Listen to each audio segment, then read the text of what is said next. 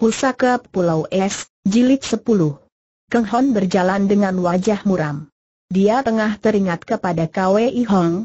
Harus diakuinya bahwa dia tertarik sekali pada Kwei Hong yang bersikap amat baik kepadanya. Hampir dia menduga bahwa dia telah jatuh hati kepada gadis itu. Tetapi kenyataannya membuat dia muram dan berduka. Kwei Hong adalah Tao Kwei Hong, masih saudara sepupunya mereka bermarga Tao yang sama, maka sudah tentu tidak mungkin mereka saling jatuh cinta dan berjodoh. Makin dikenang semakin sedih hatinya. Selagi dia berjalan perlahan-lahan, tidak peduli ke mana dia pergi asal ke timur, tiba-tiba pendengarannya yang tajam mendengar langkah kaki orang. Cepat dia menyelinap dan bersembunyi ke balik semak belukar. Tak lama kemudian dia melihat dua orang kakek berjalan dengan langkah panjang. Salah seorang di antara mereka segera dikenalnya sebagai kakek yang dahulu pernah memukulnya ketika mereka bertemu di Pulau Hantu. Kakek raksasa berambut putih itu tidak akan pernah dilupakan. Adapun kakek kedua adalah seorang berusia 60-an tahun, bertubuh tinggi kurus, Tangan kanan memegang sebatang dayung baja dan lengan kirinya memanggul tubuh seorang wanita yang pakaiannya serba putih dan mukanya tertutup topeng sutra putih pula. Jantung Keng Hon berdebar tegang. Itulah gadis berpakaian putih yang menjadi sumoi dari Bik Yam Chu. Jelas bahwa gadis itu telah tertotok. Tubuhnya amat lemas ketika dipanggul oleh kakek tinggi kurus itu kakek yang usianya sudah 70 tahun lebih itu memang benar adalah Swat Hai Lo kakek yang dahulu bertemu dengan Keng Hon di Pulau Hantu. Adapun kakek kedua yang menawan So Chuin, gadis berpakaian putih itu adalah Tung Hai Lomo. Kedua orang kakek ini sedang berjalan seiring menuju ke Butong San. Bagaimana gadis berpakaian putih itu sampai jatuh ke tangan Tung Hai Lomo?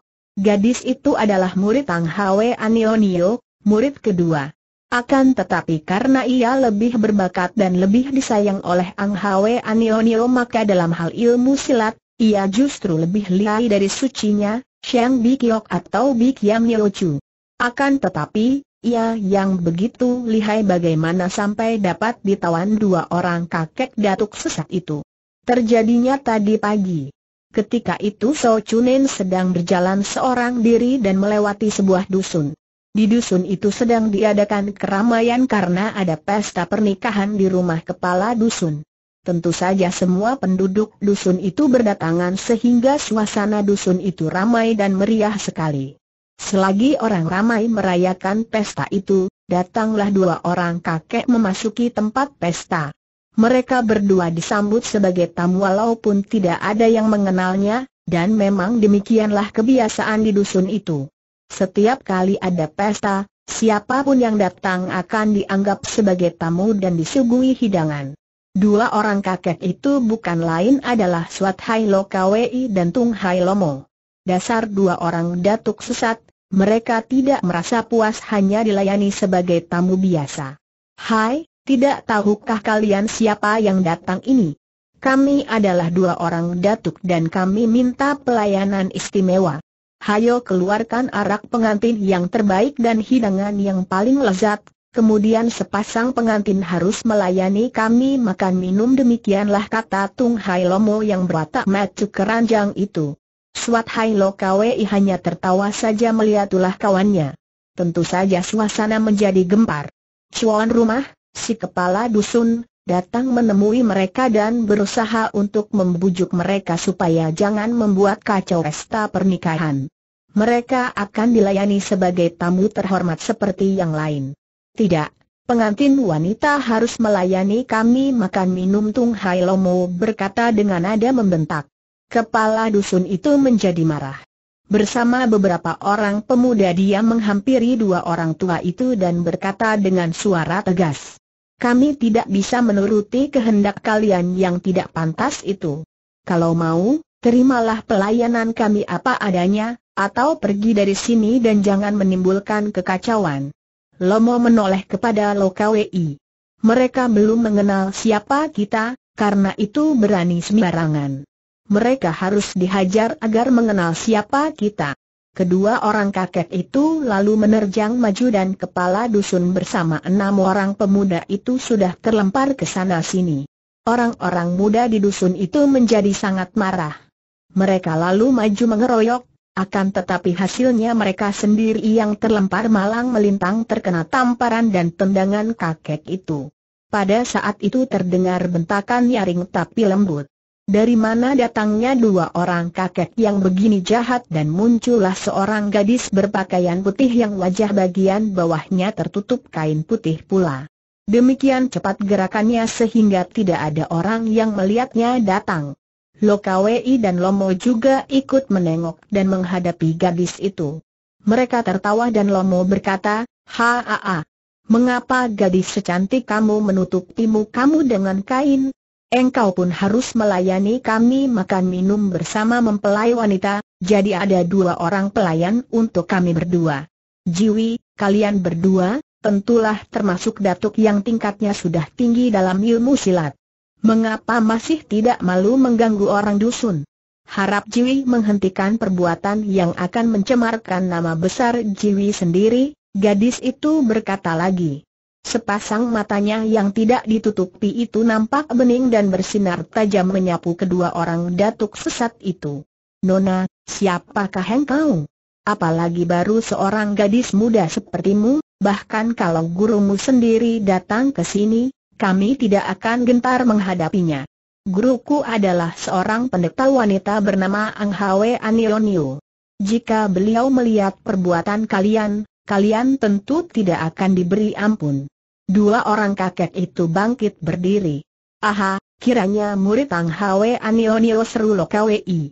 Bagus, kini aku mendapat kesempatan baik untuk membalas penghinaan yang pernah kuterima dari Ang Hwe Anionio.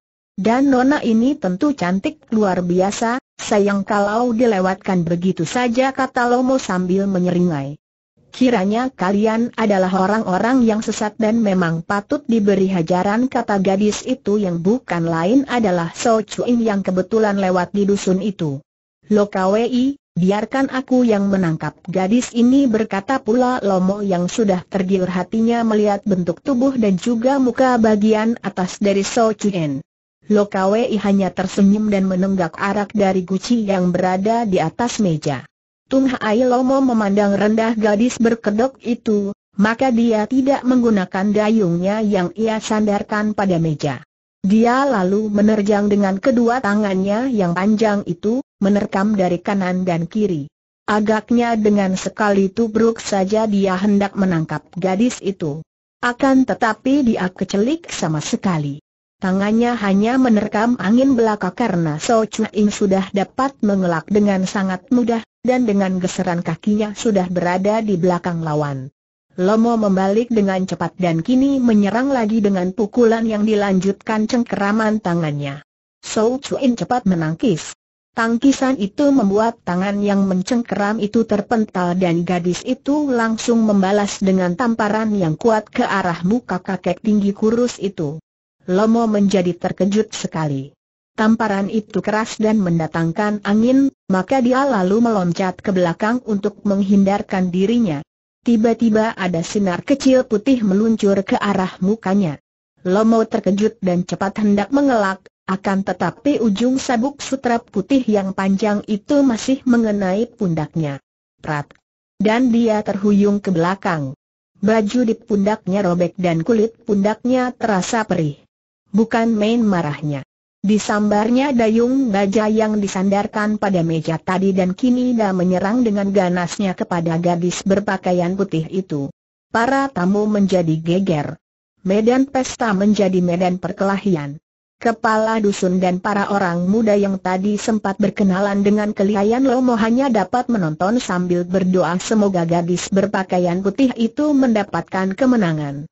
Perkelahian berlangsung seru dan seimbang. Lomo memainkan dayungnya yang terus menyambar-nyambar.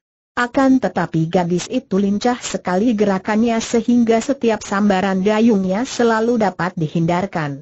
Bahkan lecutan sabuk sutranya yang meledak-ledak itu kadang mengacam kepalanya karena terus mengirim totokan ke arah jalan-jalan darah di tubuhnya. Biarpun pertandingan berjalan seimbang, namun karena Lomo kalah dalam hal kecepatan bergerak, dia lebih banyak menerima serangan dan kelihatan terdesak. Melihat temannya tidak mampu mengalahkan gadis itu, Lokawei tidak mau tinggal diam. Dia masih mendendam kepada Ang Hwe Anionio yang pernah mengalahkannya dalam pertandingan. Maka kini dia hendak melampiaskan dendamnya kepada murid Ang Hwe Anionio itu. Dia segera maju dan melancarkan pukulannya yang mengandung sinkang dingin. Merasa ada hawa dingin menghantamnya dari samping, Sou Chuin amat terkejut dan maklum bahwa kakek kedua membantu temannya. Dia mengelak dengan loncatan ke kiri sambil memutar sabuk sutranya yang melingkar dan membalik menyerang Lokawei. Akan tetapi Lokawei lalu menangkisnya dengan pukulannya yang ampuh sehingga ujung cambuk itu terpental. Pada saat itu dayung di tangan Lomo telah menyambar lagi. Sou Cui mengelak akan tetapi pukulan Lo Kwei kembali menyambar dengan dahsyatnya. Kembali Cui melompat ke belakang untuk menghindarkan diri. Sebetulnya, tingkat kepandaian Sou Cui sudah tinggi sekali dan kalau dibandingkan dengan Lo Kwei atau Lomo, tingkatnya seimbang. Akan tetapi karena kedua iblis tua itu maju bersama mengeroyoknya, tentu saja Cui menjadi kewalahan. Akhirnya, sebuah pukulan dari Lokawei menyerempet pundaknya, membuat ia terhuyung dan kesempatan itu dipergunakan oleh Lomo untuk menotoknya sehingga dia menjadi lemas dan tidak mampu bergerak lagi. Lomo tertawa puas dan memanggul tubuh yang ramping itu, lalu mengambil sabuk sutra putih itu dan menggunakannya untuk mengikat kedua tangan Cuen. Mari kita pergi dari sini katanya kepada Lokawei.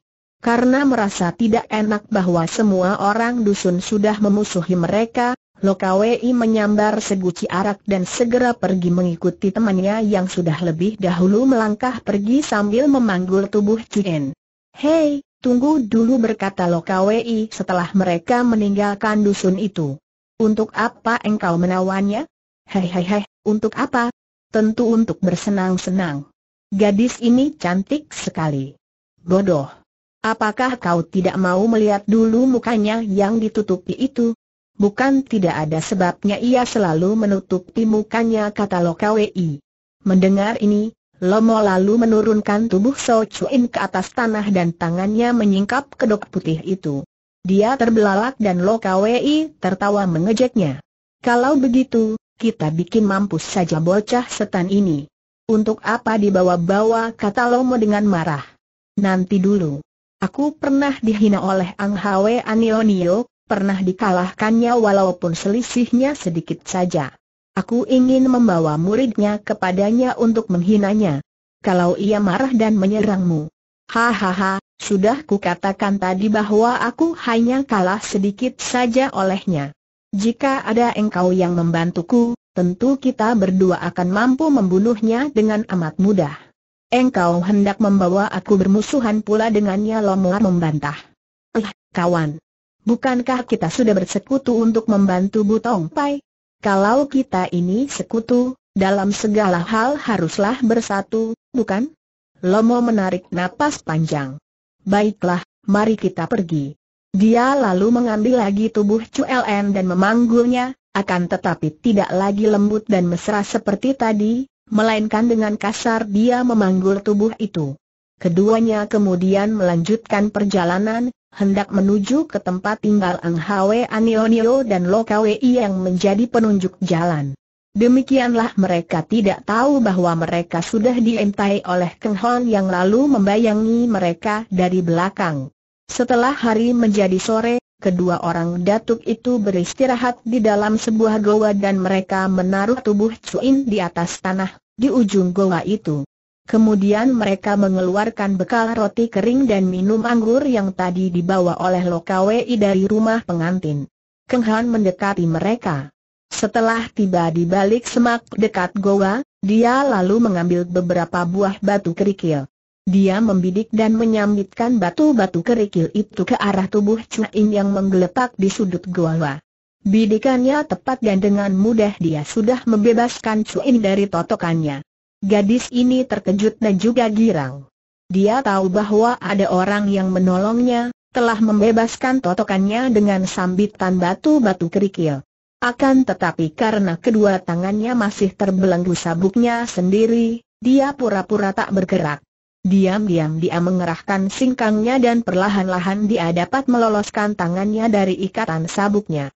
Setelah tangannya bebas, ia pun meloncat bangun, sabuk sutra yang menjadi senjata ampuhnya itu telah berada di tangannya. Mendengar gerakan ini, Dua orang kakek itu menengok dan alangkah kaget hati mereka melihat gadis itu telah bebas dan juga telah siap menyerang dengan sabuknya. Mereka meloncat berdiri dan bersiap pula. Bahkan Lomo sudah menyambar dayung bajanya. Akan tetapi, pada saat itu ada bayangan orang melayang dan tahu-tahu sudah berada di depan goa. Keng Hon segera mengenal Suat Hai Lo Kwei, kakek raksasa rambut putih yang dulu pernah memukulnya ketika mereka bertemu di Pulau Hantu. Maka dia segera menghadapinya. Kakek tua, sebetulnya seorang yang sudah tua sepertimu ini sebaiknya mencari jalan terang dengan perbuatan-perbuatan yang baik agar kelak mendapat pengampunan dari Tuhan, bukan malah menumpuk kejahatan kata Keng Hon. Lokawei tidak mengenal Keng Hon. Pada saat mereka bertemu dahulu, Keng Hon baru berusia 15 tahun, masih remaja dan sekarang pemuda remaja itu telah menjadi seorang pemuda dewasa. Akan tetapi So Cui mengenal Keng Hon yang pernah hendak dibunuh sucinya. Ia tahu bahwa pemuda itu yang menolongnya, akan tetapi ia pun menjadi khawatir akan keselamatan pemuda itu. Kalau pemuda itu melawan sucinya saja kalah, bahkan diakui murid oleh sucinya, bagaimana mungkin dia akan menandingi Suat Hai Lokai? Maka, untuk menolong pemuda itu, ia sudah cepat menyerang dengan sabuk sutranya ke arah Lomo sambil berseru, Sobat, kau cepat lari dari sini. Akan tetapi Keng Hon tidak lari, bahkan dia pun lalu menyerang Lokawei. Serangannya mendatangkan angin yang amat kuat sehingga Lokawei terkejut dan mengelak, kemudian membalas dengan pukulannya yang dingin. Menghadapi pukulan dingin ini, Keng Hon menangkis dengan tangan kanannya sambil mengerahkan hawa panas dari HWI yang sinkang. Wuut, des. Akibatnya, tubuh kakek raksasa itu lantas terpental ke belakang. Bukan main kagetnya Suat Hai Lo KWI karena ketika tangannya tertangkis tadi, ada hawa yang panas sekali menyusup ke tubuhnya melalui lengannya sehingga membuyarkan tenaga dingin yang tadi dikerahkannya. Dia lalu menerjang lagi dengan ilmu silatnya yang aneh dan Keng Hon melayaninya dengan Hang Ingun Hoat sehingga terjadilah perkelahian yang seru di antara mereka. Sementara itu, Chu In juga sudah menyerang Lomo Kalang Kabut karena kemarahannya kepada kakek yang tinggi kurus ini. Sabuk sutra putihnya menyambar-nyambar dan meledak-ledak di atas kepala lawan dengan totokan-totokan yang berbahaya. Ang Hwe Anionio memang seorang ahli totok yang lihai sekali, dan ia telah menurunkan ilmu totoknya itu kepada kedua orang muridnya. Hanya bedanya, kalau Siang Bikiok atau Bikiam Niochu diajar menotok dengan jari tangan, Sou Chuin melakukan totokan-totokan dengan ujung sabuk sutranya. Karena kini tidak lagi dibantu Lokawei yang sibuk sendiri melawan pemuda itu, Lomo menjadi kewalahan dan segera terdesak oleh gadis berpakaian putih itu. Keng Hon juga sama sekali tidak mau memberi kesempatan kepada lawannya. Ketika lawannya lengah, sebuah hantaman dengan tangan kirinya mengenai pundak lawan. Tangan kirinya mengandung suat im sinkang dan kakek yang ahli ilmu tenaga sinkang dingin itu kini menggigil kedinginan. Dia menjadi cari dan berteriak kepada kawannya. Lomo, mari kita pergi. Teriakan itu sudah dimengerti oleh Lomo bahwa kawannya itu tak mampu menandingi lawan, maka dia memutar dayungnya dengan cepat dan dahsyat. Menghadapi serangan dahsyat ini, terpaksa Cuing mundur dan kesempatan ini dipergunakan oleh Lomo untuk meloncat dan melarikan diri bersama kawannya. Cuing yang masih marah sekali kepada kakek itu hendak mengejar, namun Keng Hon berkata, tidak menguntungkan mengejar lawan yang sudah kalah apalagi mereka berdua. Mendengar ini, Chin tidak melanjutkan pengejarannya. Dia berdiri memandang pemuda itu dengan sinar matanya yang tajam sambil menggulung kembali sabuk sutranya dan menyelipkan di pinggangnya. Kenapa engkau membantuku pertanyaan itu pendek akan tetapi seperti suara orang yang menuntut. Keng Han menjadi bingung. Kenapa? Kenapa, ya? Barangkali karena melihat seorang wanita sedang ditawan oleh dua orang datuk sesat? Atau barangkali juga karena engkau pernah menyelamatkan nyawaku ketika aku akan dibunuh oleh Bik Yam Yochu. Aku tidak menyelamatkanmu, tapi menghindarkan suci dari perbuatan yang keliru. Aku tidak menghutangkan budi apa pun padamu. Lalu kenapa engkau menolongku? Jawab yang jelas wanita itu kembali bertanya dengan suara sungguh-sungguh. Jawabannya mudah saja. Melihat seorang wanita ditawan orang jahat, tentu saja aku menolongnya. Bagaimana kalau wanita itu bukan aku? Aku tetap akan menolongnya, tidak peduli orang itu engkau atau siapa pun juga. Sudah menjadi tugas kewajibanku untuk menolong orang yang tertindas dan menentang orang yang jahat. Nah, puaskah engkau dengan jawaban itu? Sou Tsuin menghela napas panjang, mukanya nampak lega cukup puas. Jadi itu berarti bahwa engkau menolong tanpa pamrih, bukan menolong aku pribadi, melainkan aku sebagai wanita yang terancam bahaya. Tentu saja. Pula, andai kata aku menolong karena engkau, itu pun tidak aneh, bukan? Engkau pernah menyelamatkan aku, sudah semestinya kalau sekarang aku membalas budi itu. Tidak. Jangan kau lakukan itu. Tidak ada budi di antara kita. Aku adalah wanita biasa bagimu, bukan? Engkau tidak tertarik kepadaku karena aku pernah menolongmu, atau karena keadaan diriku? Keng Han merasa betapa anehnya pertanyaan wanita ini. Kemudian dia teringat akan keterangan Bik Yang Yeochu.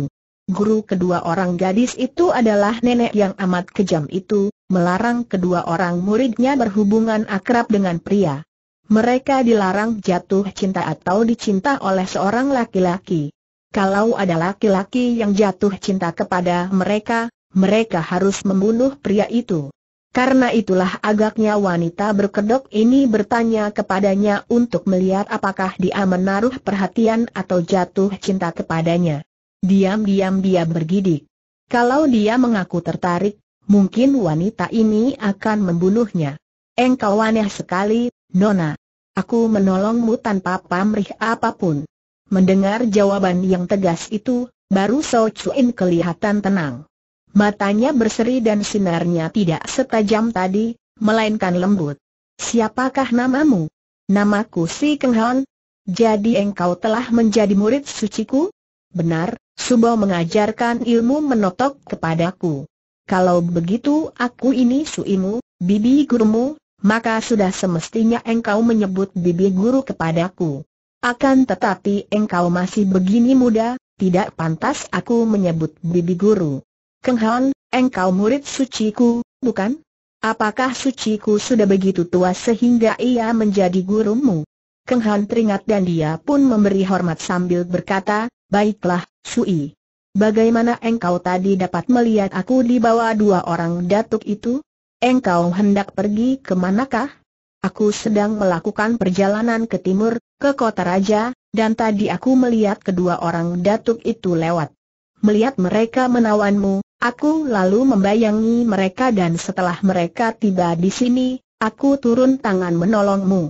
Pantas engkau pandai membebaskan totokan pada tubuhku, kiranya sudah belajar dari suci.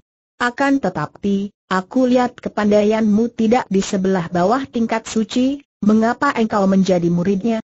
Benarkah engkau tidak mempunyai perasaan suka dan cinta terhadap suci? Tidak sama sekali, Sui.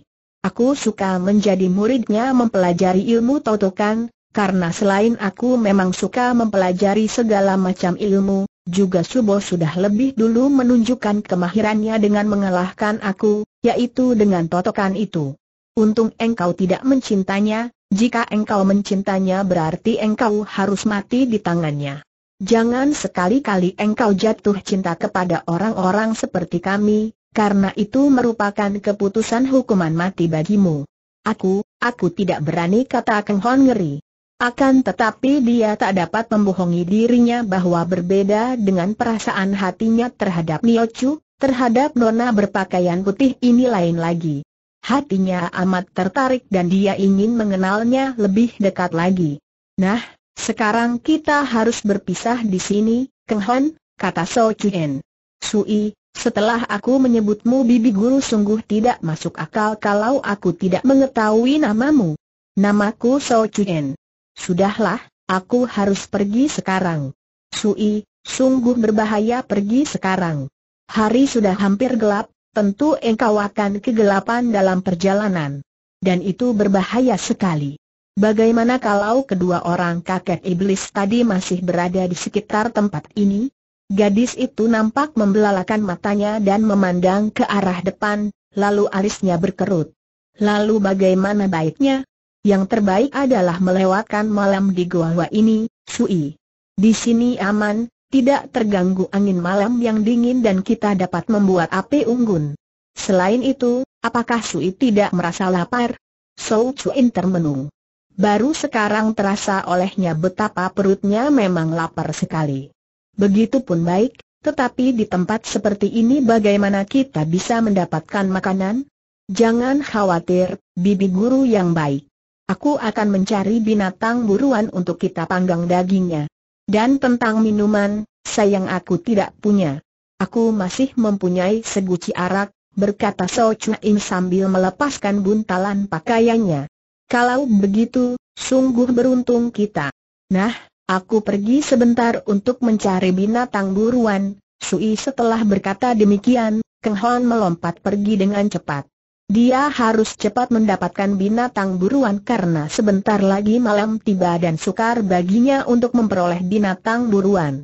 Senja menjelang malam itu menjadi waktu bagi burung-burung untuk terbang kembali ke sarangnya dan inilah yang menarik perhatian Keng Hon.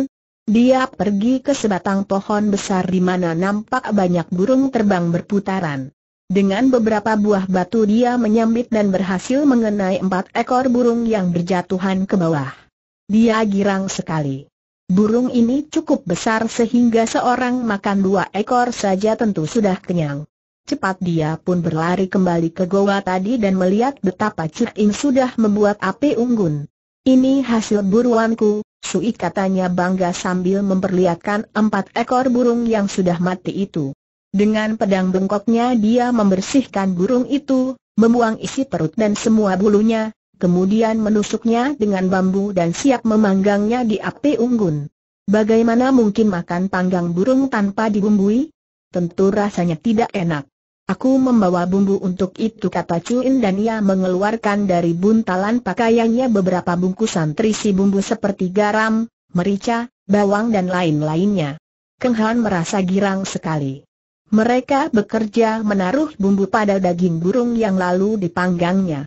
Tercium bau sedap pada saat daging burung itu terpanggang. Tentu saja yang dapat membuat daging itu mengeluarkan bau sedap adalah bumbunya, terutama bawangnya. Sebentar saja empat ekor daging burung itu matang dan mereka lalu makan. Ketika Keng Hon memandang untuk mencuri lihat wajah yang tertutup kedok itu, dia kecelik.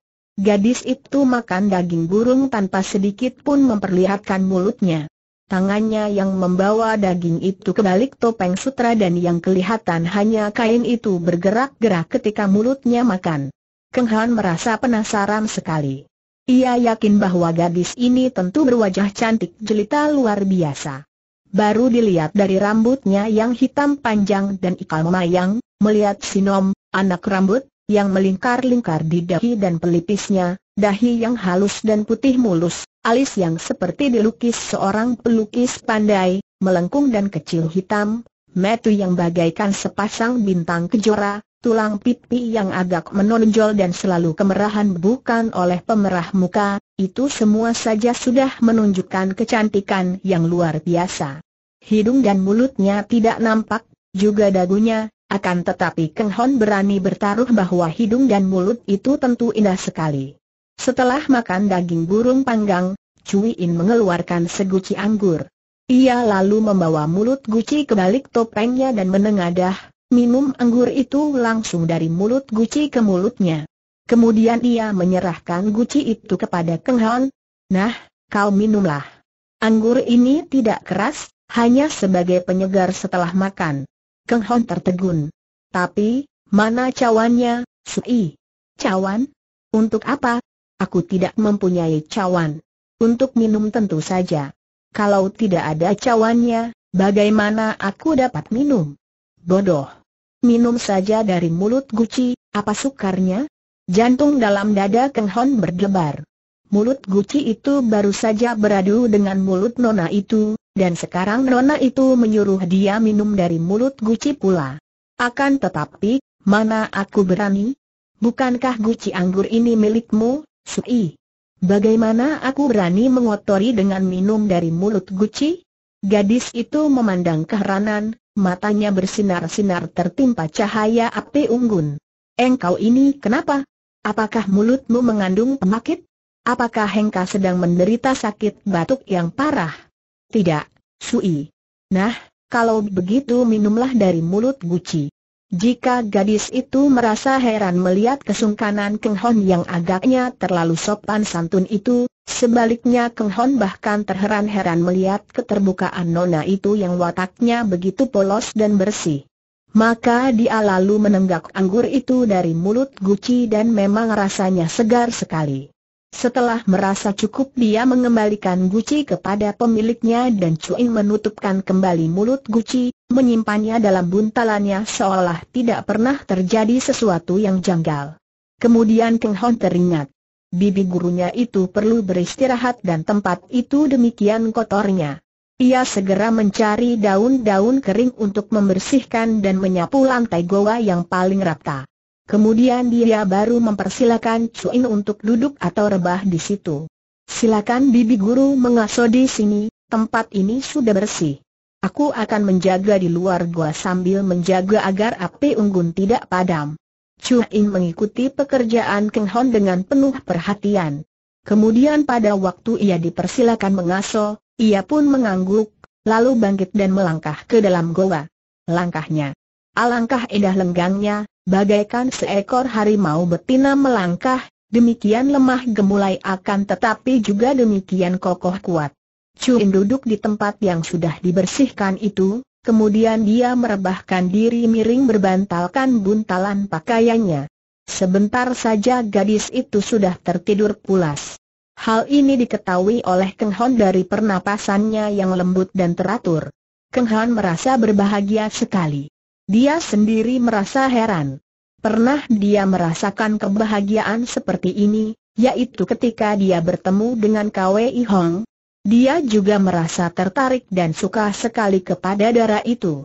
Akan tetapi semenjak dia mengetahui bahwa Kwei Hong bermarga Tao, putri pangeran mahkota, masih saudara sepupunya sendiri, hatinya terasa perih dan dia mencoba melupakan gadis itu.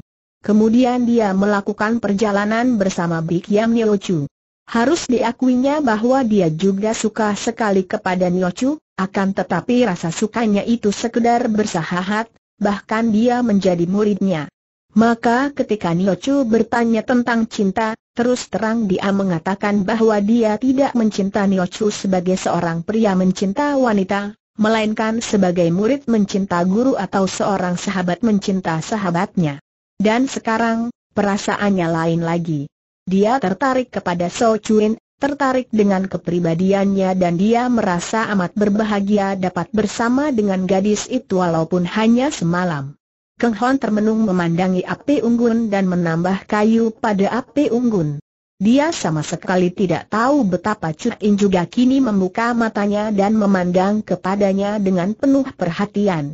Gadis ini merasa gelisah sekali ketika ia merasa bahwa hatinya tertarik kepada pemuda ini. Seorang pemuda yang lain sekali daripada pemuda lain. Kaum lelaki yang dijumpainya selalu ingin membuka kedoknya, selalu memujinya cantik dan selalu mengeluarkan cumbu rayu seribu satu macam untuk menarik perhatiannya. Akan tetapi Keng Hon sama sekali tidak. Bahkan ketika disuruh minum anggur dari mulut Guci, jelas pemuda itu merasa rikuh sekali. Pemuda ini sungguh sopan dan pandai membawa diri. Di samping itu, juga pemuda ini memiliki ilmu kepandaian yang amat hebat. Tadi sudah dibuktikannya ketika dia melawan Swat Hai Lo Kwei. Pemuda ini memiliki tenaga sinkang yang luar biasa kuatnya dan ilmu silatnya juga aneh sekali.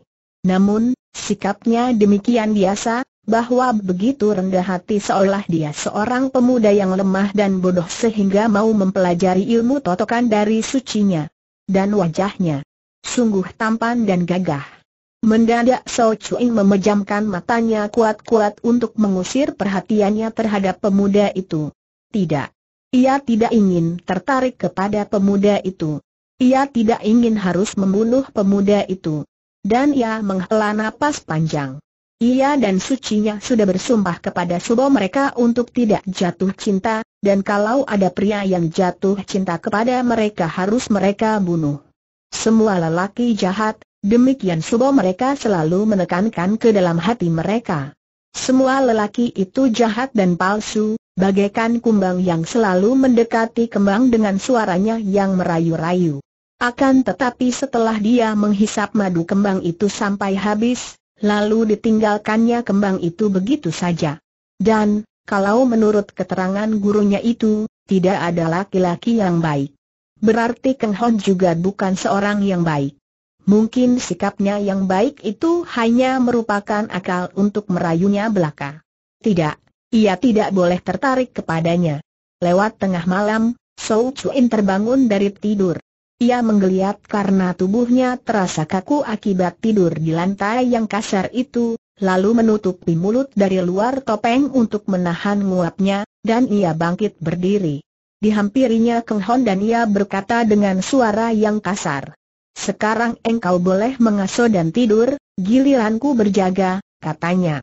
Keng Hon merasa heran sekali mendengar ucapan yang bernada ketus itu. Dia pun lalu memandang dan berkata, Tak perlu, Sui. Sui mengasuh dan tidurlah, biar aku berjaga di sini sampai malam lewat.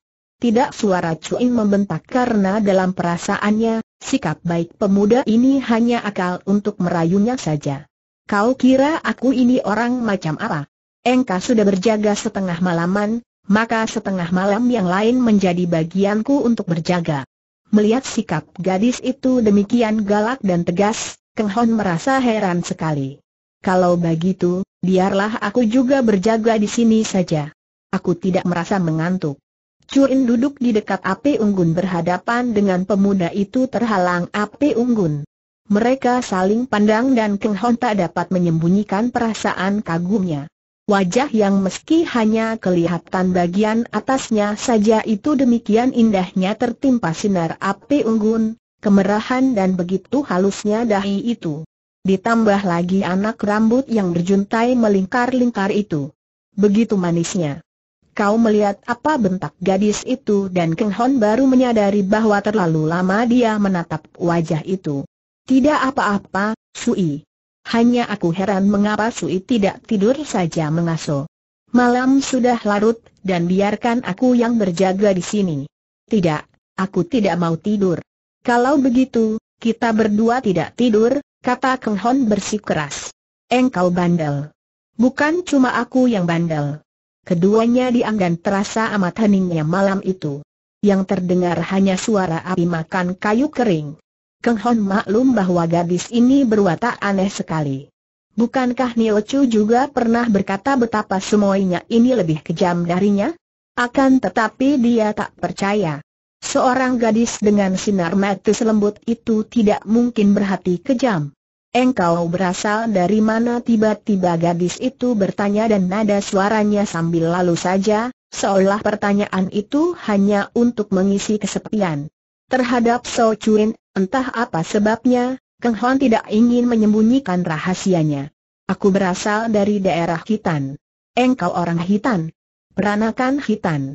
Ibuku orang Hitan, tapi ayahku orang Hon, ia masih belum berani mengakui ayahnya sebagai seorang pangeran Manchu. Pantas. Aku sudah menduga bahwa engkau seorang peranakan. Di mana orang tuamu sekarang? Ibuku masih di Hitan bersama kakekku akan tetapi ayahku. Bagaimana dengan ayahmu? Sudah matikah? Keng Hon menggelengkan kepalanya dan menghela napas panjang. Aku belum pernah melihat ayahku. Semenjak aku di dalam kandungan ibu, ayah telah pergi meninggalkan ibu dan sejak itu tidak pernah kembali. Sou Chuin melempar sepotong kayu di api unggun sehingga bunga-bunga api terbang membubung ke atas. Hu katanya gemas. Benar juga kata Subo. Lelaki adalah makhluk yang palsu dan kejam. Akan tetapi aku memang sedang mencari ayahku, Sui. Dia harus menjelaskan kenapa dia tidak pernah pulang menengok ibu. Kalau memang benar dia telah melupakannya dan mengkhianatinya, aku sendiri yang akan menghajarnya. Hem, apalagi yang terjadi kalau bukan ayahmu bertemu dengan wanita lain yang lebih cantik lalu ayahmu mengawini wanita itu dan melupakan ibumu. Belum tentu.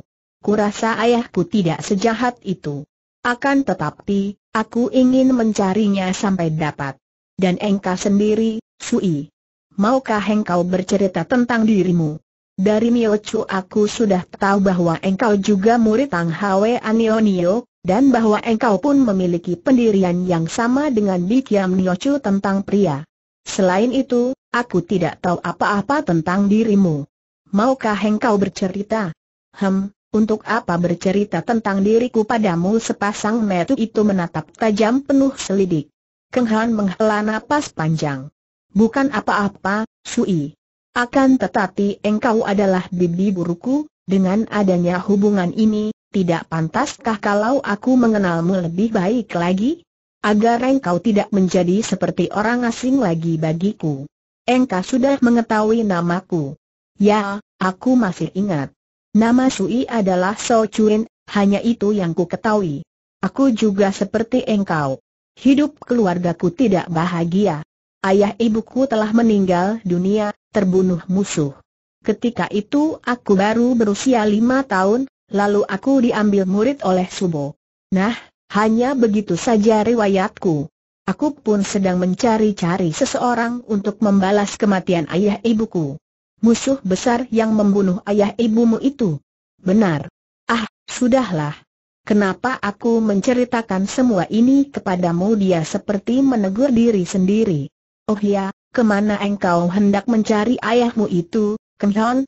Mendengar gadis itu tiba-tiba membelokkan arah percakapan, tahulah Keng Hon bahwa gadis itu tidak mau lagi bercerita tentang dirinya. Maka dia pun menjawab sejujurnya, aku hendak mencari ayahku di kota raja. Ah! Kenapa Sui terkejut mendengar itu? Tujuan perjalananku juga ke kota raja. Bukan main girangnya hati Keng Hon mendengar ini.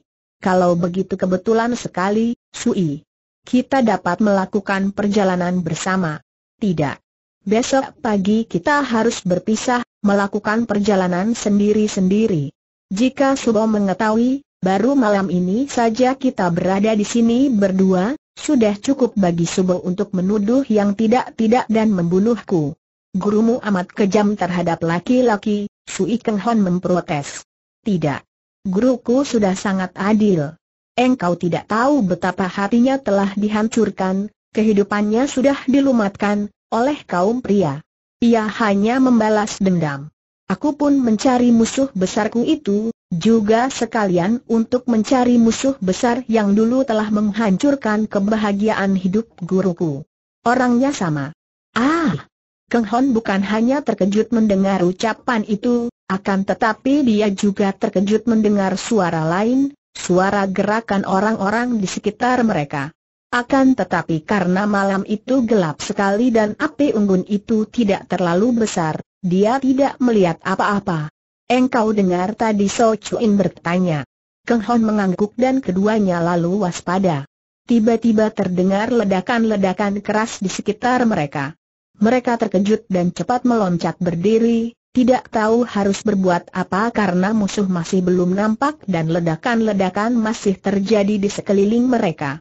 Agaknya musuh menyerang mereka dengan bahan ledakan yang mengeluarkan asap tebal. Kedua orang itu tidak berani sembarang bergerak karena khawatir kalau-kalau diserang musuh yang tidak kelihatan. Akan tetapi tiba-tiba keduanya mencium bau keras sekali dan So Chuin berseru. Tahan napas. Tetapi sudah terlambat.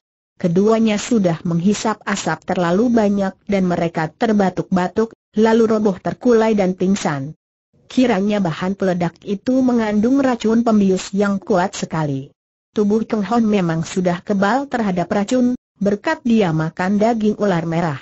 Akan tetapi yang kebal adalah tubuhnya sehingga andai kata dia terkena makan racun atau dilukai oleh racun, tentu hawa beracun dalam tubuhnya akan menolak dan membuatnya kebal. Akan tetapi sekali ini dia terkena racun pembius berupa asap yang memasuki paru-parunya, maka dia pun tidak dapat bertahan dan roboh pingsan seperti So Chuen. Beberapa bayangan orang yang memakai kedok tebal berkelebatan memasuki tabir asap itu dan menghampiri kedua orang yang sudah pingsan itu. Akan tetapi ketika empat orang itu menghampiri Keng Hon dan Cuin, Cuin melompat dan dua orang roboh tewas seketika terkena pukulan Tok Chiang, tangan beracun. Kiranya Cuin belum pingsan seperti keadaan Keng Hon, Ketika wanita ini tahu bahwa ada musuh menggunakan asap beracun, ia meneriaki Keng Hon, akan tetapi Keng Hon yang terlambat. Ia sendiri baru sedikit menghisap asap beracun.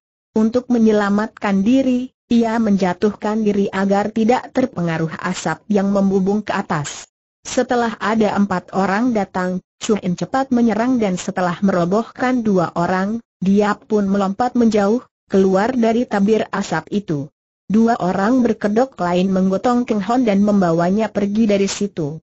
So Chuing merasa khawatir sekali, akan tetapi tidak dapat mencegah dengan adanya tabir asap pembius yang menghalanginya.